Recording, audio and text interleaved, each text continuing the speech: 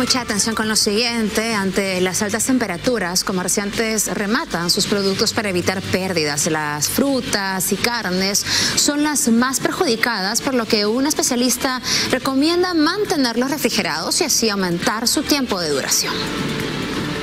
Ahora en tres días ya se pone así, porque el, golpe del calor es demasiado fuerte. Esta es la fruta que a diario Soledad Ramírez debe separar.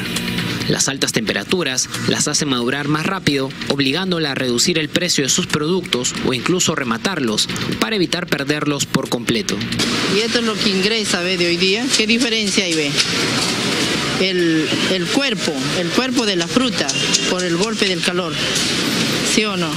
Es bastante la diferencia. Esta situación se repite en todo el mercado de frutas, un calor sofocante que reduce la duración de variedades como el plátano. Cuando está en una temperatura ambiente te dura entre una semana así para que madure pues. Esta temporada así con tanto calor se madura más rápido el plátano, tres Dos días. días, tres días más o menos está madurando. Lo venden entre 20, el 100, a 15, el 100 están vendiendo. O sea, unos 10 soles menos. Claro, más o menos 10 soles menos y eso ya es pérdida ya. Pero no son los únicos. Luz Candiotti, vendedora del mercado San José, en Jesús María, tiene que desechar las fresas al no poder venderlos en el día. Tengo que botarlo, tengo que botarlo porque nadie quiere. Ni regalado quieren. Tengo que- ¿Y así le reduzca el precio? Claro, son dos cajas de fresa que he pagado 8 soles el kilo por mayor. Y ha tenido que... Tengo que botar la basura porque se ha hecho agua. Frutas de estación, como la sandía, no pueden partirse, pues solo enteras durarían 10 días, cuenta la señora Carmen. Eh, si la partes, claro, pues, ¿no? Pero si lo tienes entera, sí mantienes tu duración. Usualmente, ¿cuántos días le dura una sandía normal?